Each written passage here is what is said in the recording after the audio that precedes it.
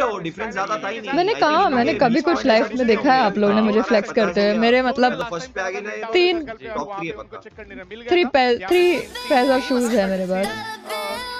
कपड़े में मेरे टॉप्स ये कुछ तीन सौ का है। मैं मेरे जीन्स भी कुछ मतलब मैं इसमें मानती नहीं बिल्कुल भी।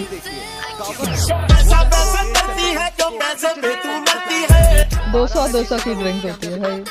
हाँ? दो भाई कौन सी ड्रिंक होती है भाई? तू कौन से स्टारबक्स ले रही है?